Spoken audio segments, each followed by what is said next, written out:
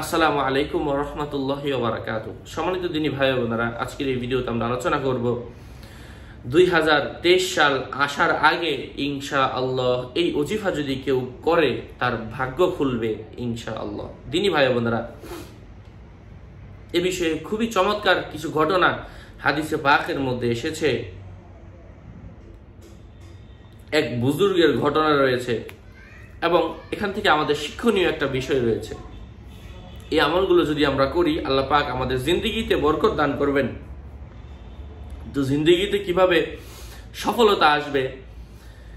সফলতা আসার জন্য আমি একটা বুজুর্গের ঘটনা শেয়ার করছি। শুধু দুই হাজার তেইশ সাল না, আমরা যতদিন বেঁচে থাকব, প্রত্যেকটা বছর আসার আগে যদি আমরা এই কাজগুলো করতে পারি, আমাদের জিন্দিগি সফলতায় ভরে যাবে ইনশাল্লাহ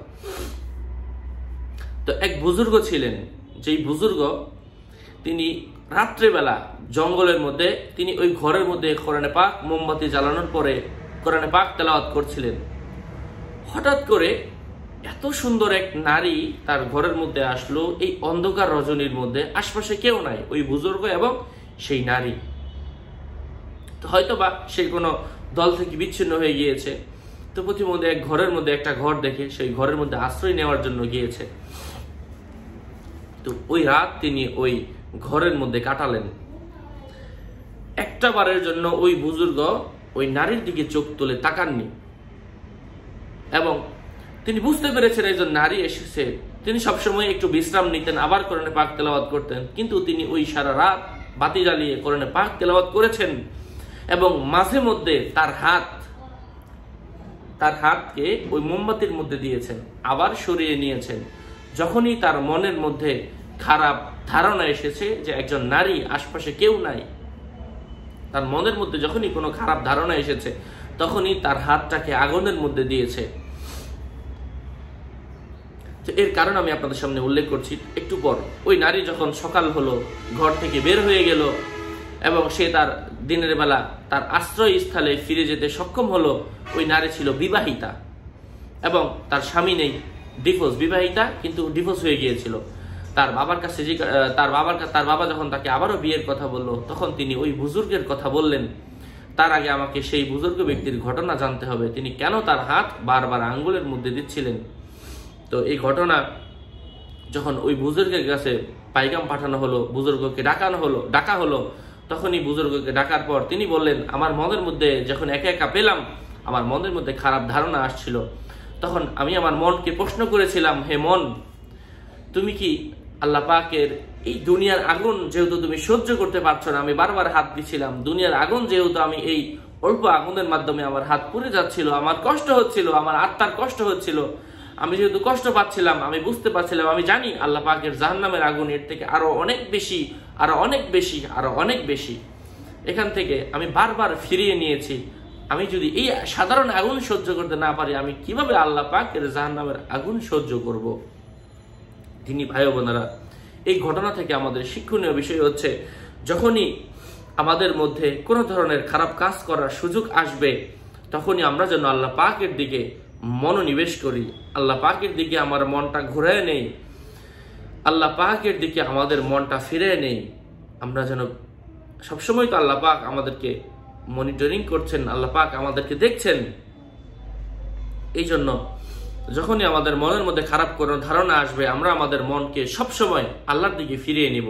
খারাপের দিকে যেন আমরা আমাদের মনকে ধাবিত না করি, খারাপের দিকে যেন আমরা আমাদের মনকে প্রভাবিত না করি, আমরা যেন খারাপ কাজের দিকে ধাবিত না হই। এই বুজুর্গের ঘটনা থেকে এটাই শিক্ষণীয়, যখন একজন মানুষ আল্লাহওয়ালা হবে, তখন আল্লাহ পাক তার জিন্দগির দরজা খুলে দেবে। তারপর সেই বুজুর্গের সাথে কি ঘটনা ঘটলো? ওই নারীকে, এই বড়লোক নারীকে এই ফকিরের সাথে বিয়ে দিয়ে দিল। এই বুজুর্গের সাথে বিয়ে দিয়ে দিল। কারণ সে বুঝতে পারল, দেখেন কোথেকে কি হয়ে গেল। সেই বুজুর্গ কোন জঙ্গলের মধ্যে ছিল, সেখান থেকে তাকে আল্লাহ পাক একটা সুন্দর নারীরকে বিবাহের ব্যবস্থা করে দিলেন আল্লাহ একবার রাসুল সাল্লাহ আলিয়াস্লামের অজুর পানি নিয়ে সাহাবা একরাম কারাগারি করতেন। তখন আল্লাহ রসুল সবাইকে জিজ্ঞাসা করলেন হ্যাঁ আমার সাহাবিরা, তোমরা কেন এই অজুর পানি নিয়ে কারাগারি করো? তখন আল্লাহ সাহাবারা বললেন, আমরা আমাদের জিন্দিগিকে যেন বরকতপূর্ণ করতে পারি, আমরা আমাদের জিন্দিগিকে যেন আমরা আপনার অজুর ব্যবহৃত পানির মাধ্যমে সুসজ্জিত করতে পারি। তখন আল্লাহ রসুল বলেন কেউ যদি তার জিন্দিগিতে এই তিনটা জিনিস কাজে লাগায়, তার জীবন সুন্দর হবে। এক নম্বর কাজ হচ্ছে সত্য বলতে হবে। ঠিক দুই সাল আগে আমরা এই প্রতিজ্ঞা করি। যত মিথ্যা কথা বলেছি, একটা মিথ্যা কথাও বলব না। সামনে থেকে সকল কথা সত্য বলব। এবং আমানত, কেউ যদি আমানত দেয়, সেই আমানত ভালোভাবে আদায় করব। এবং তৃতীয়ত কাজ হচ্ছে, এমন কোনো কাজ করব না, যেটার মাধ্যমে অন্য মানুষের কষ্ট হয়। তো মানুষকে কষ্ট কীভাবে দেওয়া যাবে না? তার একটা উদাহরণ আমি আপনাদের সামনে উল্লেখ করছি। হাতেম আসেম রহিমহল্লাহ তালা তার এক সাগরিদ উনি অনেক বড় আল্লাহওয়ালা ছিলেন। তার কাছে হাদিসের দর্শ নেওয়ার জন্য ক্লাস নেওয়ার জন্য মানে ক্লাস করার জন্য যাচ্ছিলেন।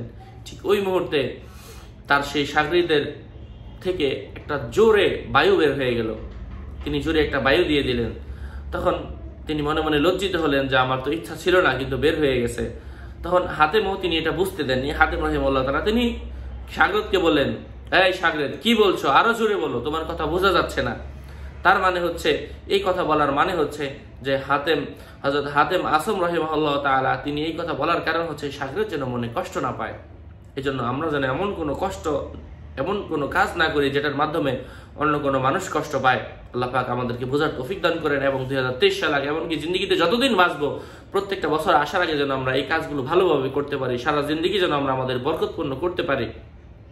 অনেকের মনে কষ্ট হুজুর, আপনি আমাদের কমেন্টে রিপ্লাই দেন না। অনেকেই মনক্ষুণ্ণ, অনেকে নারাজ, কিন্তু ভাই, বুঝতে হবে।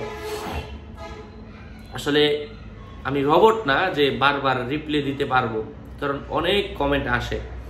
এবং এক একজনের এমন এমন প্রশ্ন যে প্রশ্নের উত্তর যদি বের করা হয়, তাহলে অনেক কিতাব ঘাটতে হয়। একটা প্রশ্ন যদি দেখতে হয়, এর পিছনে তিন থেকে চারজন লোক ঘাটতে হবে যদি ভালো করে উত্তর দেওয়া হয়।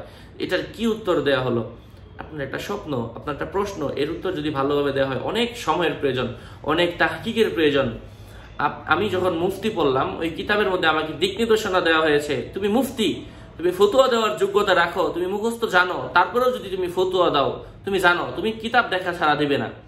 যদি তুমি দাও, আর যদি আল্লাহ না করুক, যদি ওই ফতুয়ার মধ্যে ভুল হয় তাহলে তোমার পিঠের মধ্যে পা রেখে সাধারণ মানুষগুলো জান্নাতের মাধ্যমে, জান্নাতের মধ্যে যাবে আর তুমি জাহান নামের মধ্যে থাকবে। কারণ কি? কারণ আমি একটা ভুল ফতুয়া দিয়েছি। আমার ফতুয়ার ভুল দেওয়ার কারণে একজন মানুষ তার জিন্দগিতে সেটা অনুসরণ করছে।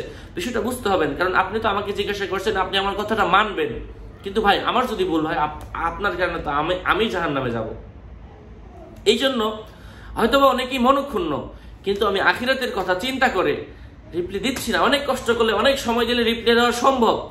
কিন্তু দিনী ভাই আমাদারা এই সামান্য সুখ আখিরাতের কাছে কিছুই না। এজন্য মনে কষ্ট নেবেন না।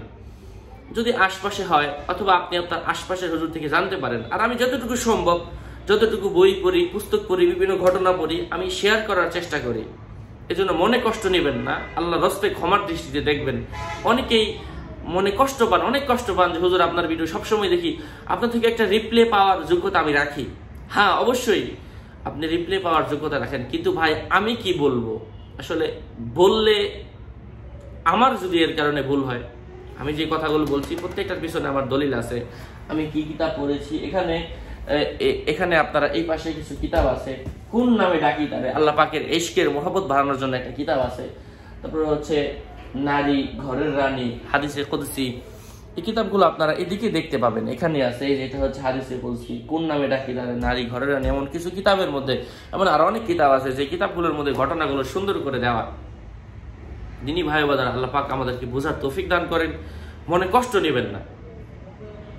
আসলে এই সামান্য সুখের কাছে দুনিয়ার, এই সামান্য একটু সময়ের সুখের জন্য দুনিয়ার, আখিরাতের কাছে কিন্তু এটা কিছুই না। এই জন্য আল্লাহ রস্তে ক্ষমার দৃষ্টিতে দেখবেন, মনে কষ্ট নেবেন না। আসসালামু আলাইকুম ওরহমতুল্লাহি ওবরাকাতুহ